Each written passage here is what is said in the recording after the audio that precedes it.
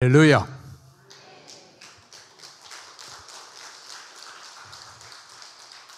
오늘 2024년 5월 26일 분명한 날짜에 우리 성지교회 교육관 입당 감사 예배를 드리고 있습니다. 우리 과거에는 이런 것이 없었을까? 이 복음과는 감사 예배들이 있었어요.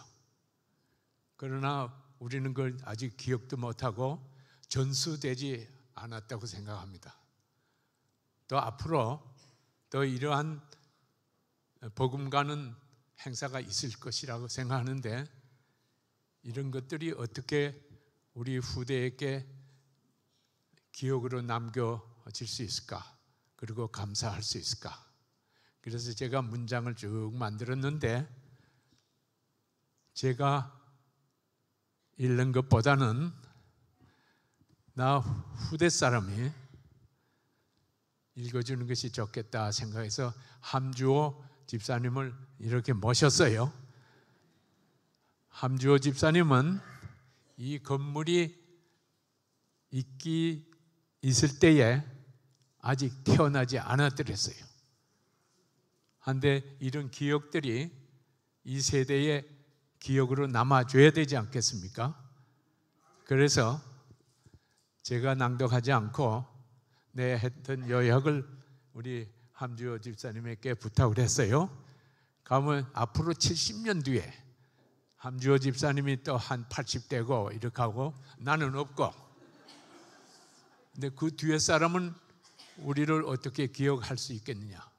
무엇을 어떻게 남겨야 되느냐? 이런 생각이 들었어요. 그래서 내가 부탁을 간절히 부탁을 했습니다. 오케이 했어요.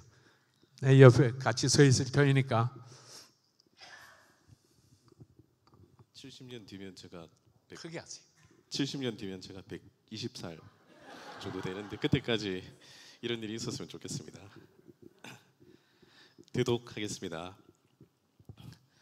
오늘 성지교회 교육관 입당 감사 예배에 헌당의 의미를 잠시 살펴보았습니다. 역사를 영어로 history라 합니다. History의 his는 누구인가? 하나님이라 합니다. 인류 역사는 하나님의 진행형 서사시라 할 수 있습니다. 성경은 대표적인 하나님의 이야기입니다. 여기에 우리 누구든 자서전을 써서 남길 수 있듯이 우리 성지교회도 좀 더 사실적이고 구체적인 역사 기록을 남길 수 있었으면 좋겠다 생각했습니다. 오늘 교육관 입당 예배를 생각할 때 출애굽기와 요호수아를 읽는 듯 했습니다. 모세의 영도로 이스라엘 민족이 출애굽하여 광야 40년 동안 자리를 옮겨 다닐 때마다 장막에 하나님의 법궤를 모셨습니다. 40년 만에 모세의 지휘권을 여호수아에게 넘겼습니다. 요단강을 건너 약속의 가나안 땅으로 들어갈 때 12개의 바위돌을 세우라 명령하는 장면이 나옵니다.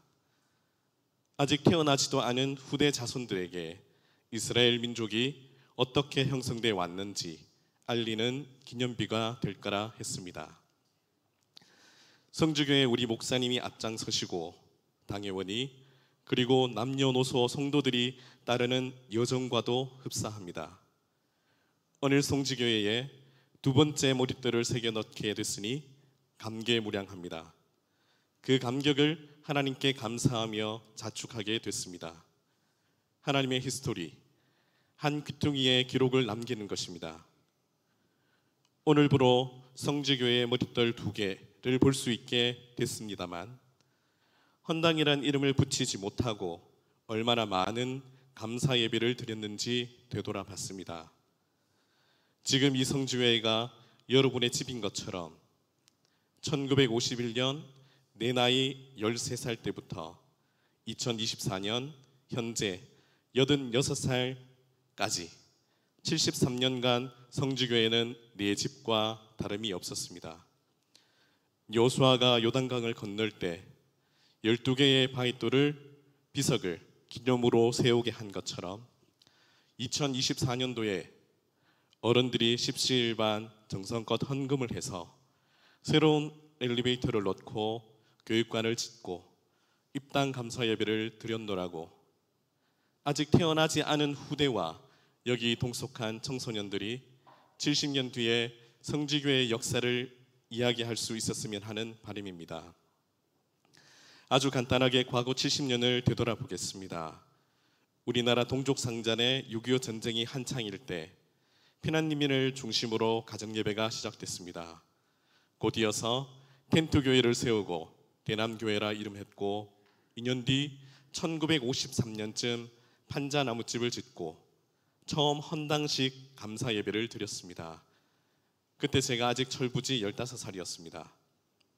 6.25 전쟁이 휴전될 즈음 1954년에 어른들 한 무리가 헌당식 감사 예배 없이 대응교회란 이름으로 갈라져 나갔습니다.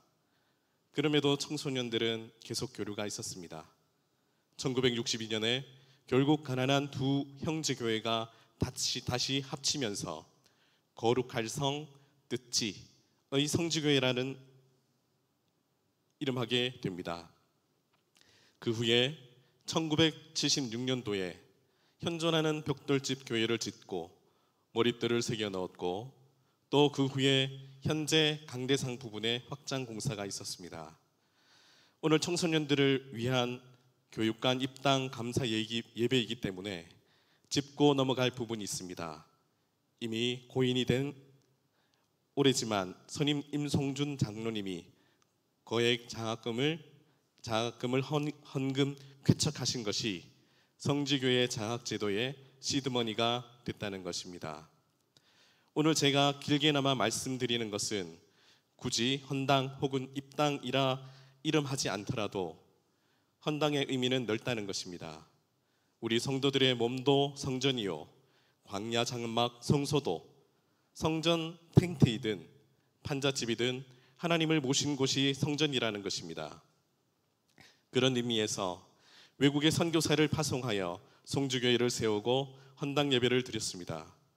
1990년 1990년대에 인도의 벵갈로의 세 교회에서 헌당 감사 예배가 있었습니다. 게세만의 성지교회, 실로암 성지교회, 베델 성지교회. 2024년 5월 26일 성지교회 교육당 교육관 입당 감사 예배를 드리면서 성지교회 헌당을 회고해 보았습니다. 경청해 주셔서 감사합니다.